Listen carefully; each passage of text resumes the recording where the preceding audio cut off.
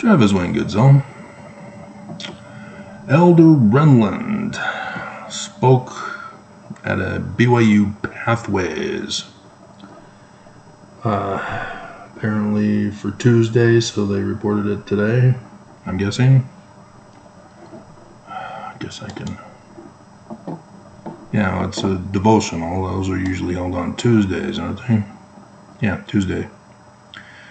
Elder Dale G. Renlund of the Quorum of the Twelve Apostles told the story on Tuesday, May 23rd, during a BYU Pathway devotional to teach about the pitfalls of farsightedness.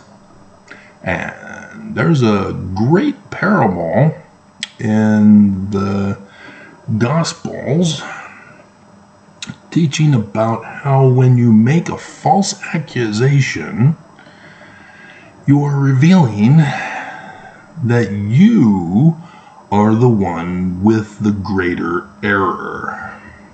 That which you falsely accuse in another reveals the same and worse fault in yourself. Beam and mote.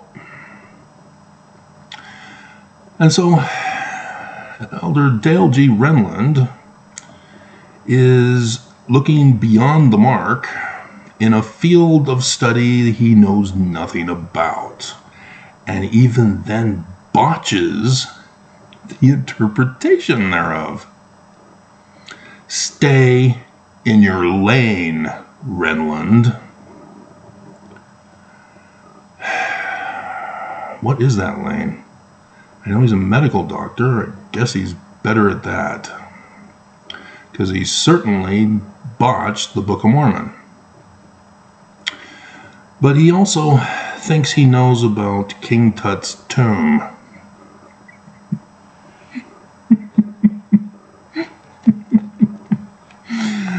oh my goodness. And he speaks of it in the context of Jesus.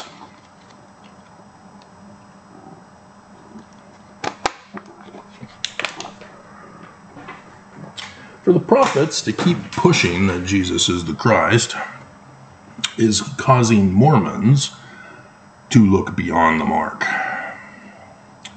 Because the Book of Mormon says very clearly, right in front of everyone, it's in the learning of the Jews, language of the Egyptians. So it's not Jesus. It also means the Book of Mormon is not even literal history. And so to call the Book of Mormon literal history to refer to Jesus as our Christ, and that Jesus is that guy from the Roman period time of whom Constantine created in the first place, but then changed the nature and character of Constantine's Christ to fit your religion, is looking beyond the mark of beyond the mark.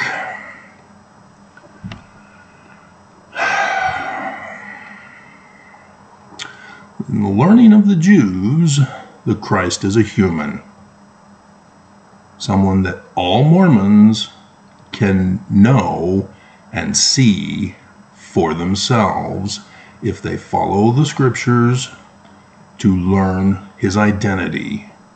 And then Joseph Smith tells us we need to hearken to him or we're going to be utterly destroyed by who? The great and abominable church of Jesus Christ of Latter day Saints. Uh-huh. Yeah, that's a mighty big beam, isn't it? And so, yeah, if you're listening and you have no clue what I'm talking about, case in point. They have turned the Book of Mormon and Joseph Smith's words into a stumbling block. So, let's go over it. He, I was talking about King Tut's tomb and how they knew that the tomb was there in the Valley of the Kings. It's just hadn't been found yet. That's a constant problem. There's lots of sand. But now they've known where it is.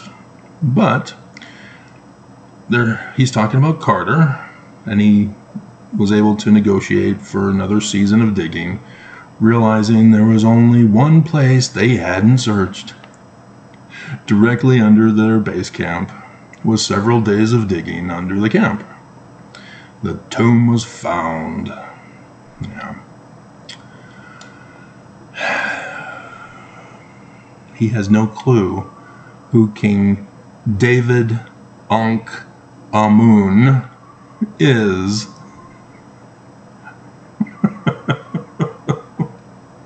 Because he's looking beyond the mark, because others have looked beyond the mark because of their Christian religious bias. King Tut came from the 18th dynasty.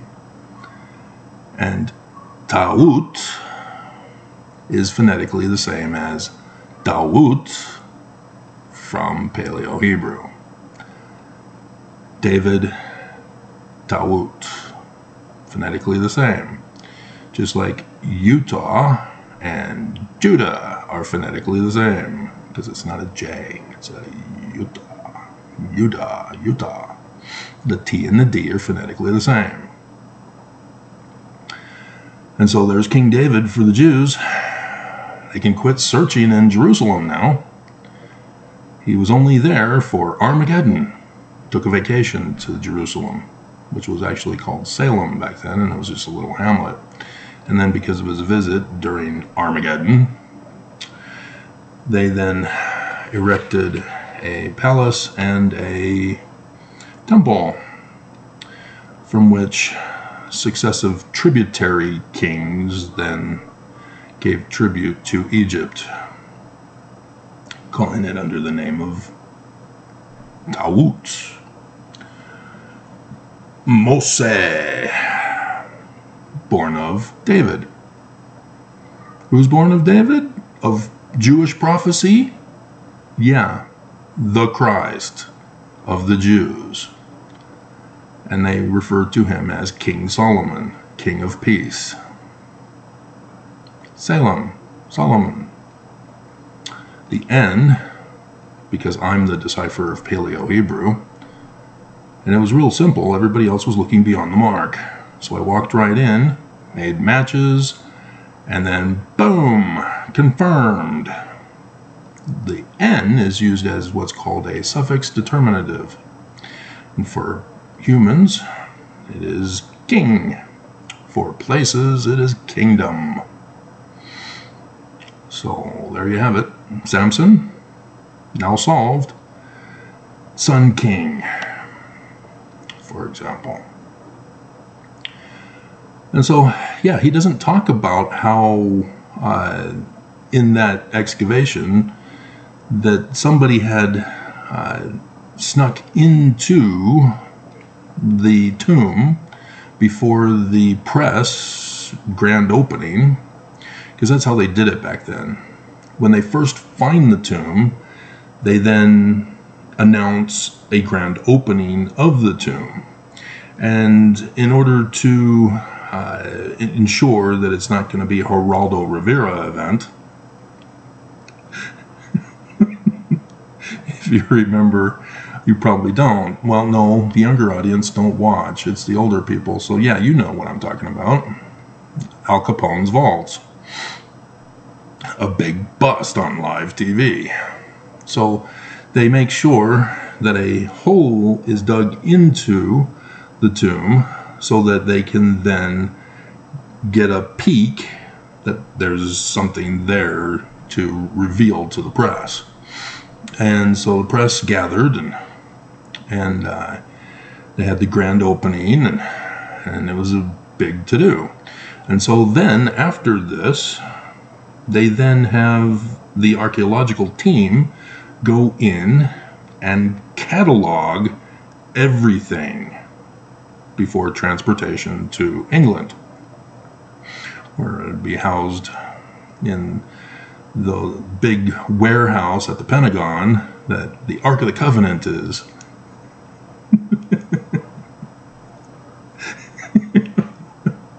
Indiana Jones? Come on, having a little fun. But uh, yeah, they saw that on the table was a bunch of papyri. This is common. All tombs have them. It's common. They saw they were there. They were listed in the preliminary report. But in the official listing, no papyri was listed. No papyri to this day have been found or acknowledged to have been in the tomb. It's supposed to be there. It was said to be there. It's now gone. Why do you think it would be gone during David Emmanuel? Ankh is eternal life. David, eternal life of Emmanuel. And so instead of David Moses, as his fathers were named, he gets his name restored because his father, Akhenaten, had a different name for him at his birth, but upon becoming king, he restored the Amen priesthood that his father had taken away. I refer you to section 84 of the Doctrine and Covenants. And then named himself David, the eternal life of Emmanuel. Amen. Tawut Ankh Amun. Who's looking the beyond the mark now, Elder Renlund? Because he is ignorant on the subject matter. And he is purposely using his ignorance to deceive and lead Mormons astray. And so, yes, this is the time period that if the house of Israel existed, would have been in those documents. But I already showed to you where the house of Israel came from. Huh. And so it's being covered up. And so he makes use of the Book of Mormon with a beam that is far worse. The consequences for being spiritually hyperonic, hy- hyperopic, are far worse. Yeah. So he does this. He becomes spiritually hyperopic to the Book of Mormon. See, he says, the Book of Mormon prophet Jacob saw that the people in Jerusalem at the time of Christ? What? Did you not even read it? you quote it. Were a stiff necked people, and they despised the words of plainness, dot dot dot, and sought for things that they could not understand. Wherefore, because of their blindness, which blindness came by looking beyond the mark, they, brackets, stumbled, end quote. And then was inserted Jacob 4:14. Are we sure it's the time of Christ? Are you sure? Looking beyond the mark was a manifestation of their spiritual hyperopia. No, this false accusation reveals the same, and where's fault in yourself? Because he says, as he purposely got it wrong, they missed the Savior of the world. Are you sure it was Jesus?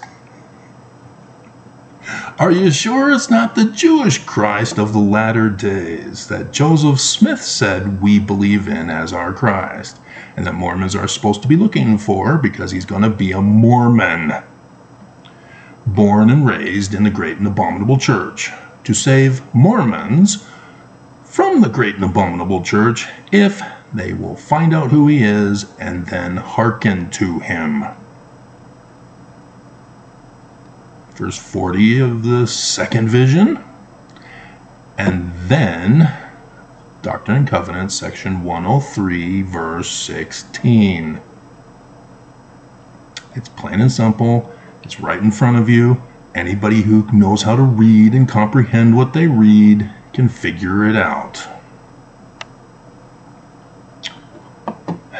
And so, yes, it means that the prophets of the great and abominable church are of the great and abominable church. It's a no duh situation if you just study it. And so let's go to that passage in Jacob 14. We need to go back uh, in the context here.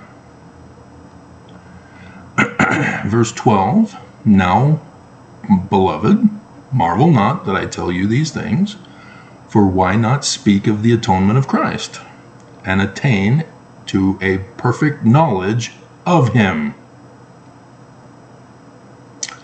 As to attain to the knowledge of a resurrection of the world to come.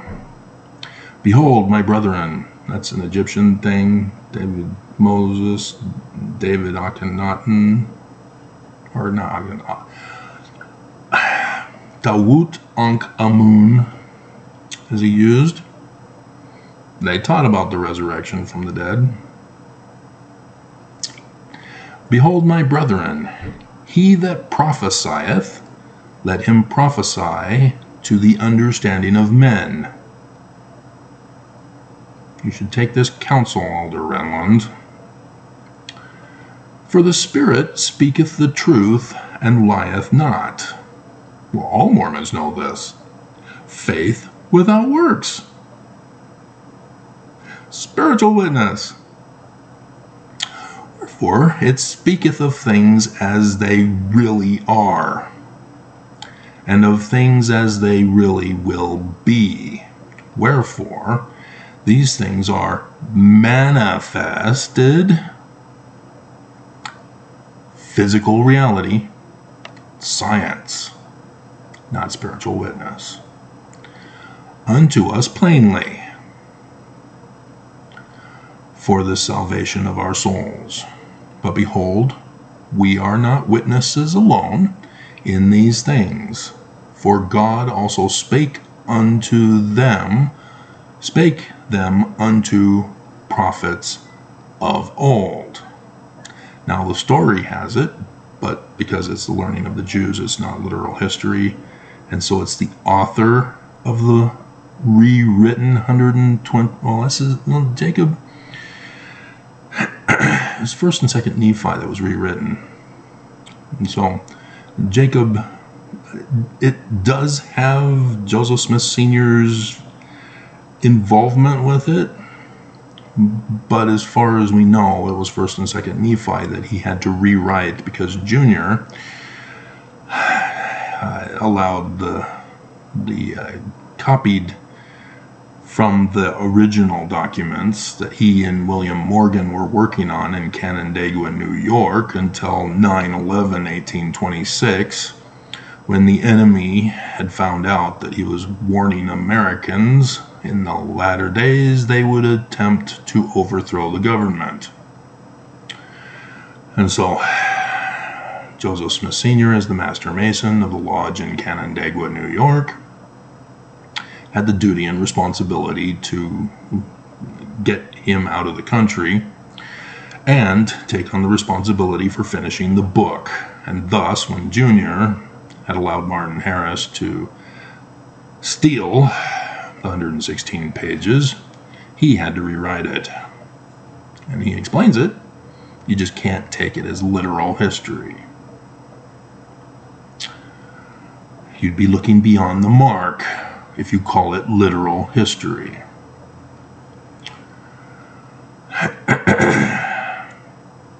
and so you have to keep it in the context. Jacob claims to come from the pre captivity Jews of 600 BCE. It's technically 587 was when Babylon came back and took hostages back to Ur of Babylon that finally was created. Did not exist for the Tower of Babel, which was Beirut, Lebanon. and has connections to an Egyptian story of Osiris and his death producing a tree of which came the title of the branch.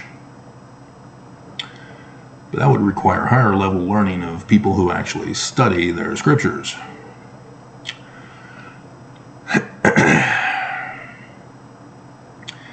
and so he says, But behold, the Jews,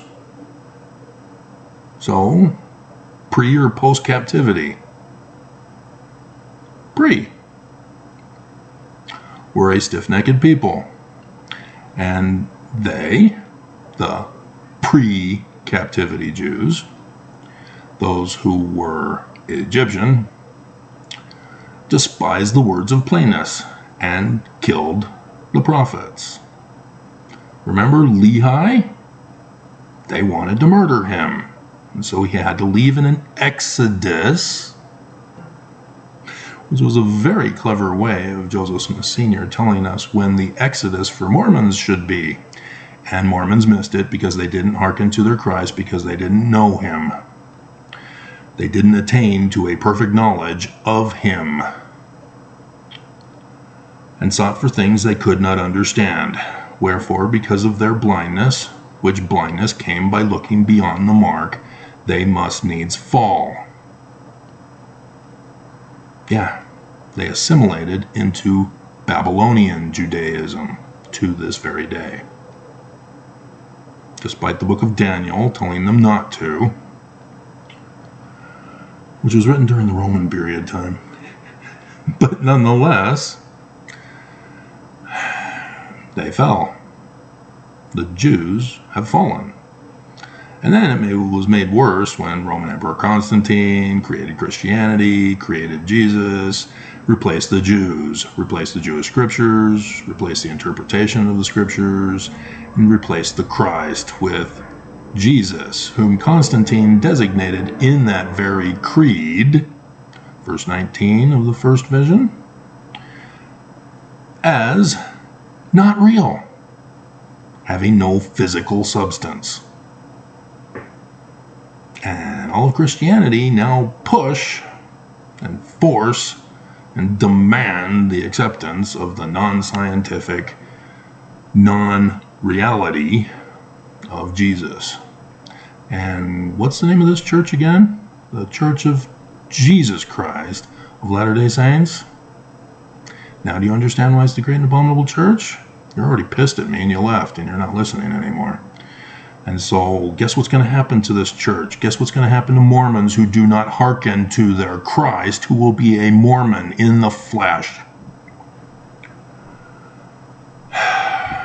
For God hath taken away his plainness from them. Joseph Smith Sr. is talking about Mormons in the latter days. And delivered unto them many things which they could not understand because you desired it. You desired to believe in Jesus.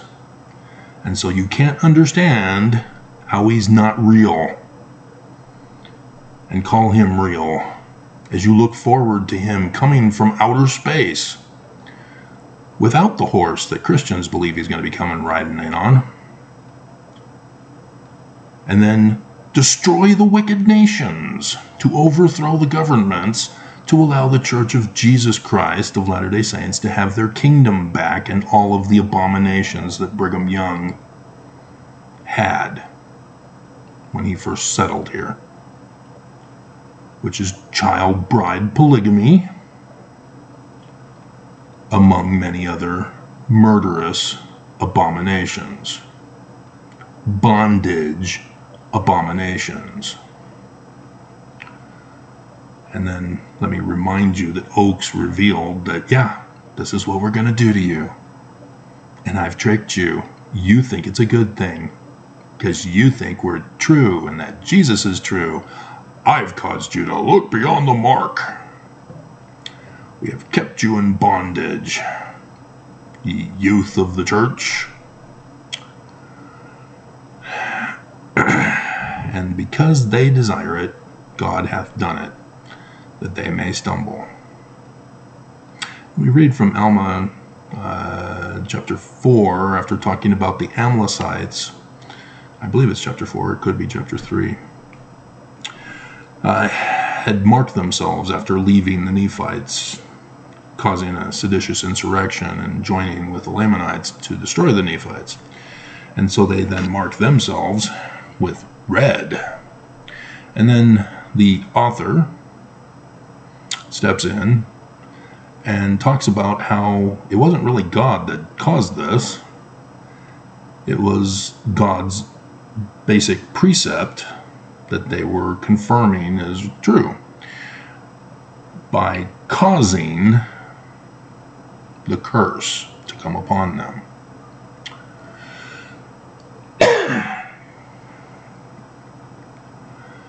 So,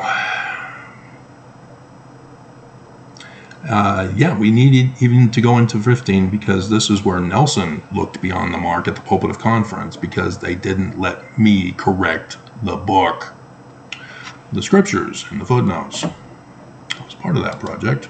I know what I'm talking about. And now I, Jacob, am led on by the Spirit unto prophesying. And if Jacob is another one, is by the way, because his new name was made Israel. And right there in plain English, even, is his translation Yah, Prince of God.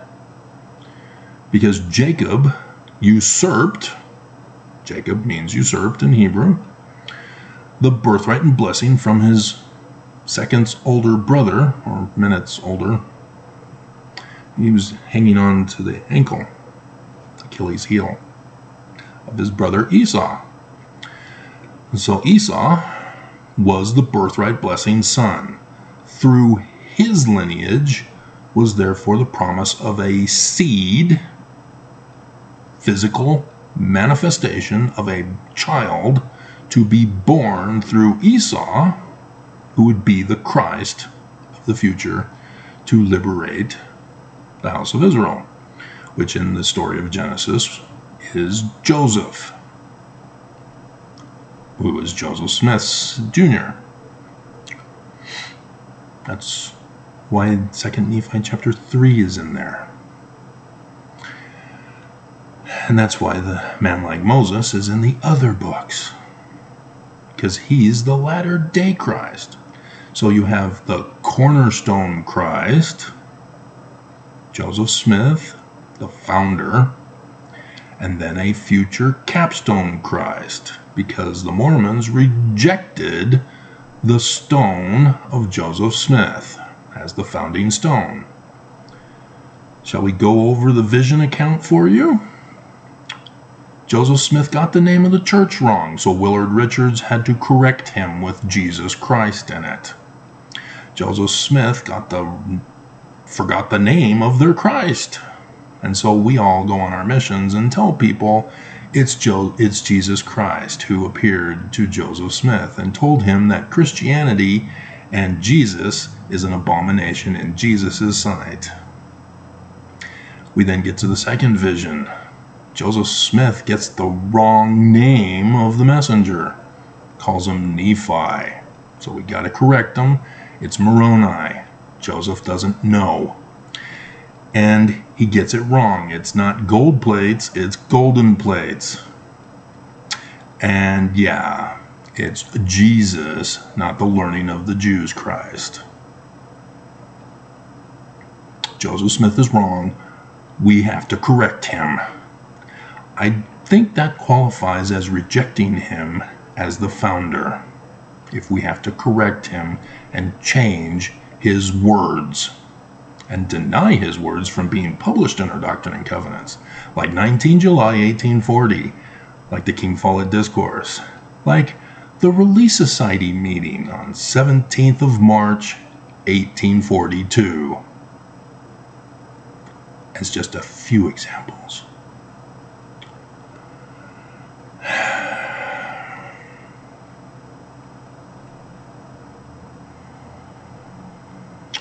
So, yeah.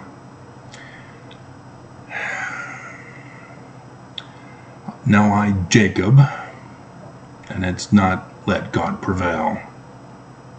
If you look at the Hebrew, the word prevail in there is not the same word that is contained in Israel. Sar is, however, a match for the word that is translated as prince. And so then, yeah, I explained to you, it's not the chief cornerstone of the cornerstone. It's cornerstone and capstone, which is an Egyptian pyramid. Mountain cities of Zion and New Jerusalem for the latter days.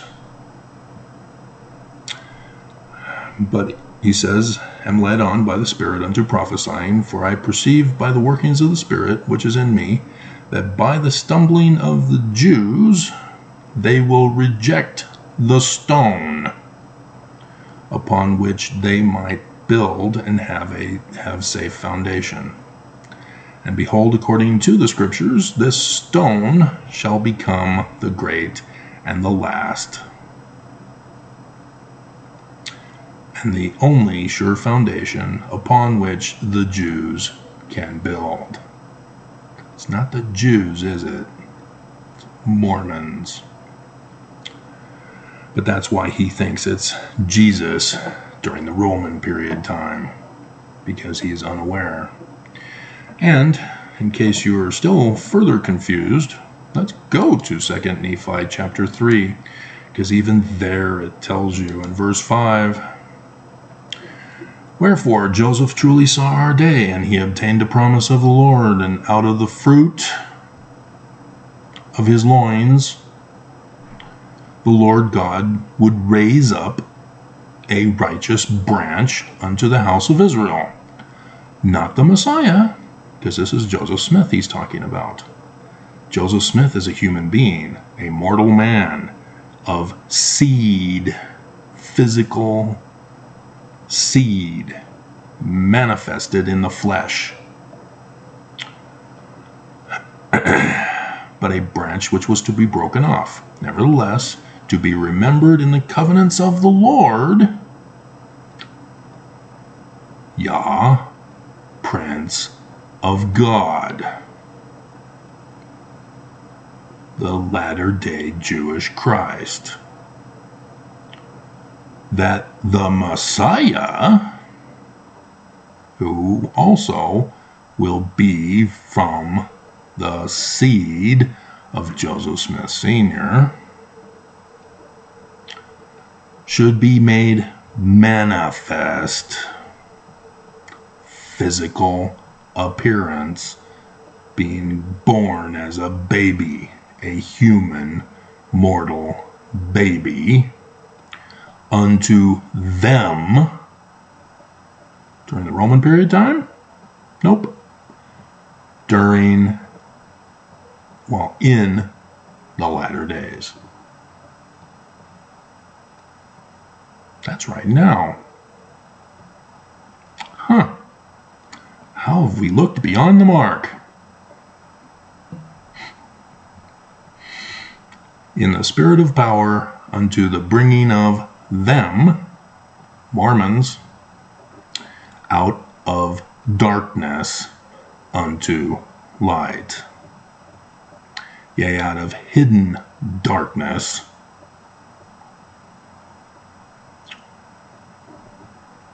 and out of captivity unto freedom. Hey, section 103, verse 16.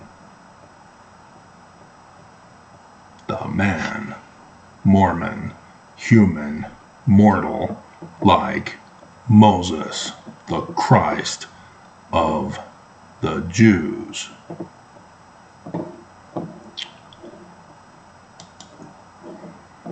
So it kind of helps to be an expert in the field in order to talk about the subject matter correctly and not lie and deceive people into your big lie. Right, Renlund?